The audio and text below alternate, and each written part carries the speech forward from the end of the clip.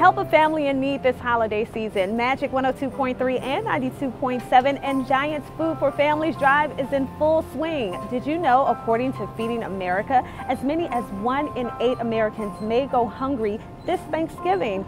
You can help by donating non-perishable items at Giant Food Stores through November 23rd.